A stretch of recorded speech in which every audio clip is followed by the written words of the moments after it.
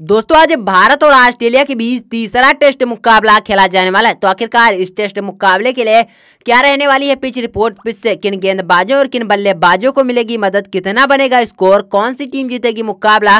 क्या होगी दोनों टीमों की प्लेइंग इलेवन इसके साथ ही आपकी फैंटासी टीम में किन खिलाड़ियों को होना चाहिए? सब कुछ बताएँगे आप कुछ वीडियो में, लेकिन उससे पहले, अगर आप भी चाहते हैं कि इंडिया की टीम यह मुकाबला जीते तो इस वीडियो को लाइक करके चैनल को सब्सक्राइब कर लीजिए। तो चलिए वीडियो शुरू करते हैं। दोस्तों वीडियो में आगे बढ़ने से पहले आप लोगों से बताना चाहूँगा, अगर आप इस मुकाबले की फाइनल फैंटासी टीम पाना चाहते हैं तो हमारे टेलीग्राम को ज़रूर ज्वाइन कर लीजिए, क्योंकि टेलीग्राम का लिंक वीडियो के नीचे डिस्क्रिप्शन में है। तो चलिए, इस वीडियो के बारे में अब बात करते हैं। ये मुकाबले की बात करें दोस्तों, ये मुकाबला एक मार्च से शुरू होगा। वहीं दोस्तों टाइमिंग की बात की जाए, दोस्तों, मुकाबला भारतीय समय अनुसार सुबह नौ बज के तीस मिनट से शुरू हो जाएगा। इसके साथ ही दोस्तों, बात करते हैं वेन्यू के बारे में। दोस्तों, ये मुकाबला होलकर स्टेडियम इंदौर, इंडिया में खेला जाने वाला है। इसके अलावा दोस्तों, आइए बात कर लेते हैं पिच रिपोर्ट और इस ग्राउंड के बारे में जिसका आप लोगों को इंतज़ार है। लेकिन उससे पहले दोस्तों बात कर लेते हैं, इन टीमों के लास्ट पाँच मुकाबलों के परफॉर्मेंस के बारे में कि आखिरकार ये टीमें लास्ट पाँच मुकाबले में किस तरीके का खेल दिखाते हुए आ रही बात करते हैं इंडिया के बारे में। इंडिया की टीम पाँच में से चार मुकाबलों में जीत करके आ रही है। एक मुकाबले में टीम इंडिया को हार का सामना करना पड़ा। इसके साथ ही ऑस्ट्रेलिया की बात करें, ऑस्ट्रेलिया की टीम दो में से, दो मुकाबलों में जीत दर्ज करने में कामयाब रही। दो में हार मिली, एक मुकाबला ड्रा हुआ है। तो कुल मिलाकर यहाँ पर टीम इंडिया का पूरी तरीके से वर्चस्व और टीम इंडिया अपने गढ़ में मुकाबला खेल रहे हैं। तो हमारी प्रिडिक्शन यही कह रही है कि एक बार फिर से टीम इंडिया ये मुकाबला जीतेगी। इसके साथ ही दोस्तों बात करते हैं, इन दो टीमों के बीच खेले गए लास्ट दस मुकाबलों के हेड टू हेड परफॉर्मेंस के बारे में। तो दस में से आठ मुकाबलों में इंडिया की टीम ने बाजी मारे है। दो मुकाबलों में ऑस्ट्रेलिया की टीम को यहाँ पर जीत मिले तो यहाँ पर भी टीम इंडिया का पूरी तरीके से वर्चस्व कायम है। इसके साथ ही दोस्तों आइए बात कर लेते हैं, इन दोनों टीमों के बीच खेले गए लास्ट दस मुकाबलों की ऑल ओवर कंपेरिजन के बारे में।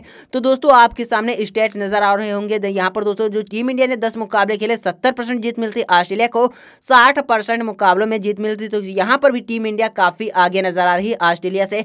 इसके अलावा दोस्तों, आइए अब बात कर लेते हैं दोस्तों, इस ग्राउंड के बारे में, पिच के बारे में, वेदर के बारे में। तो सबसे पहले बात करते हैं इस ग्राउंड के वेदर के बारे में। दोस्तों, वेदर की बात की जाए, दोस्तों, यहाँ पर दोस्तों, जो टेम्परेचर रहने वाला है दोस्तों, बत्तीस डिग्री सेंटीग्रेड, इसके साथ ह्यूमिडिटी की बात करते हैं। ह्यूमिडिटी दोस्तों, जो है यहाँ पर सोलह है, बारिश की कोई चांस नहीं थी, यानी कि बिना किसी इंटरप्शन के हम लोगों को ये मुकाबला देखने को मिलने वाला है। इसके अलावा दोस्तों, बात करते हैं इस ग्राउंड के बारे में। दोस्तों, इस ग्राउंड पर दो मुकाबले खेले गए फ़र्स्ट बैटिंग करने वाली टीम को एक मुकाबले में जीत मिली। सेकंड बैटिंग करने वाली टीम को भी यहाँ पर एक ही मुकाबले में जीत मिली। अब बात करते हैं इस ग्राउंड के फ़र्स्ट इनिंग एवरेज स्कोर के बारे में। फ़र्स्ट इनिंग एवरेज स्कोर दोस्तों, यहाँ पर तीन सौ तिरपन है। सेकंड इनिंग एवरेज स्कोर बढ़ करके तीन सौ छियानबे हो जाता है, जबकि थर्ड इनिंग एवरेज स्कोर घट जाता है या हो जाता है दो वहीं दोस्तों फोर्थ इनिंग एवरेज स्कोर जो यहाँ पर है, वो दोस्तों बिल्कुल घट करके छिहत्तर हो जाता है। तो कुल मिलाकर दोस्तों एक अच्छा मुकाबला हम लोगों को देखने को मिलने वाला है। इसके अलावा दोस्तों आइए बात कर लेते हैं पिच रिपोर्ट के बारे में, जिसका आप लोग बखूबी से इंतज़ार करें।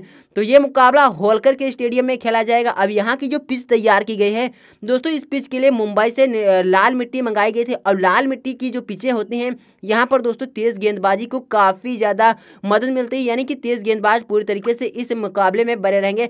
जैसा कि हमने दोस्तों देखा है कि वानखेड़े और ब्रिस्बेन में जिस जिस तरीके की पिचें हैं, उसी तरीके की ये पिच भी बनाई गई तो कुल मिलाकर यहाँ पर स्टार्ट में तेज गेंदबाजों को मदद मिलेगी।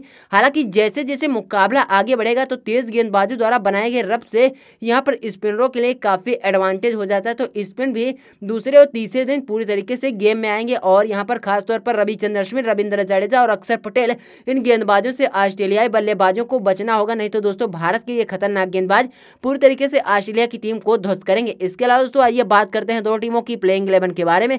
दोस्तों, मोस्ट प्रोबली यही चांस है जो आपकी स्क्रीन पर नज़र आ रहा है। यही होने वाली दोनों टीमों की प्लेइंग इलेवन इसके साथ ही दोस्तों, आइए अब बात करते हैं फैंटासी टीम के बारे में। दोस्तों फैंटासी टीम की बात की जाए तो अभी हमारी यही फैंटासी टीम है जो आपकी स्क्रीन पर नज़र आ रही है। हालाँकि दोस्तों फाइनल फैंटासी टीम आपको हमारे टेलीग्राम पर मिलेगी। टेलीग्राम का लिंक वीडियो के नीचे डिस्क्रिप्शन में है तो उसे आप ज्वाइन कर लीजिएगा। आशा करता हूँ दोस्तों वीडियो में देखी हुई जानकारी आप लोगों को पसंद है। पसंद लाइक करें चैनल को सब्सक्राइब करें। वीडियो देखने के लिए आपका बहुत बहुत धन्यवाद।